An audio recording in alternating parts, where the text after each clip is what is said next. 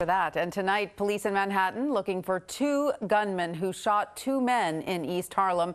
Witnesses tell us several shots were fired this afternoon outside the Washington houses on 3rd Avenue. The victims are both 23 year olds, one shot in the leg and hip, the other in the knee. They are both now in stable condition. The shooters wearing masks ran off.